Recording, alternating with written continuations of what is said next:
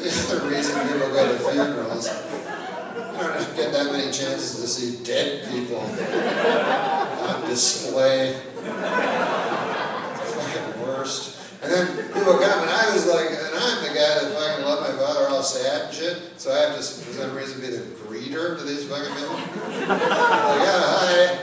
And they're like, yeah, I worked at hardware store, I used to come in. Like, eh, they're probably lying, probably just want to see a dead guy. They're like, oh, that's good, yeah. Anyway, where is he? There. Horrible. Sometimes they have comments on them going, I remember my dad, uh, people come back and go, God damn, he looks good. my dead father? Yeah, good looking dead guy. Don't worry about him. That guy's going to getting so much dead pussy you won't believe it.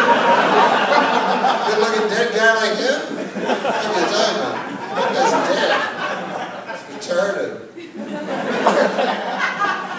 then you go, you have to fucking bury him again. They just keep making it worse and worse.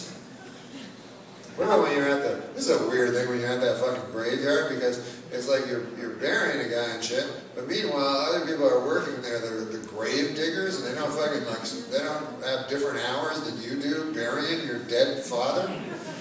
So they're all just like with the, they got their shovels.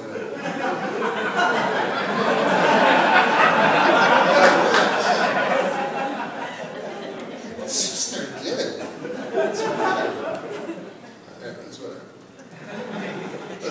Didn't up here to talk about my dead father. Now listen, he's up in heaven looking down, shit like that.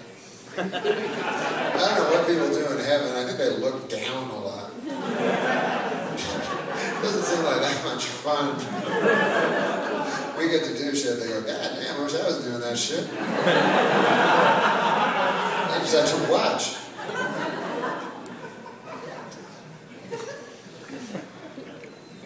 So I don't know where this, so I don't know where anything, I don't know where trouble spots, I don't know what to worry about or shit, you know? Like, uh,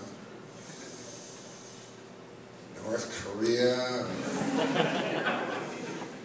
Egypt, they all seem like uh, they're not really going to hurt us. I don't know why.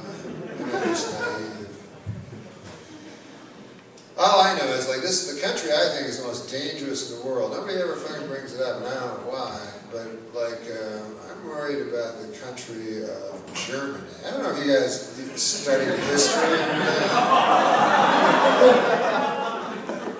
but for those of you who are not students of history, Germany, right back in the fucking early part of the 20th century, Germany, they decided to go to war, and they go to war with the world. That's their, that's their fucking enemy, the world. So, then you figure that'd take like fucking two days and the world would fucking kill them, you know? But it was really close or something, whatever. So thank God we beat them, and then fucking like 30 years passed, and once again they, they try to take over the world. So that way, know okay, Germany, you don't get to be a fucking country anymore because, you know, you keep uh, waging war against the world. the fuck you think you're on Mars or something? You retarded? Anyways, every 30 or 40 years they get a little testy.